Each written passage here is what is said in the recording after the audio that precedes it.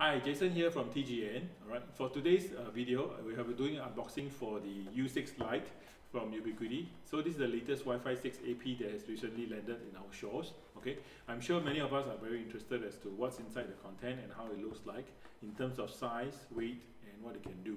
Okay, so let's take a look at the packaging and the box itself. Alright, technically it's a standalone AP if you want it to be or under a controller as usual. But be sure to update your controller to the latest version 6 if you want to use it and also to deploy it right? So it has a 5 gigahertz on 2x2 radio and for up to Wi-Fi 6 it's up to 1.5 GB okay? For the 2.4 gigahertz on the 2x2 it's up to 300 megabits okay? Let's open up the unit and see what we have okay? So over here you have a packet of screws as usual, as with all Ubiquiti APs. Next, let's pull out the unit. Okay.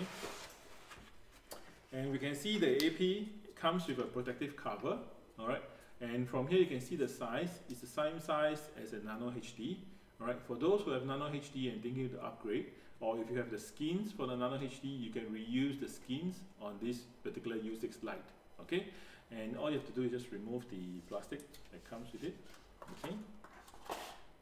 so you have the AP and what else is inside the packaging is you have a metal plate a mount and then you have the bracket and you have the quick installation guide. Alright? So as usual uh, for those who are not sure they comes with 1 GB uh, 1 gigabit LAN port and it's PoE enabled. And for this particular model the PoE is powering on 802.03 AF okay? So it's using the full power for the 802.03 AF okay?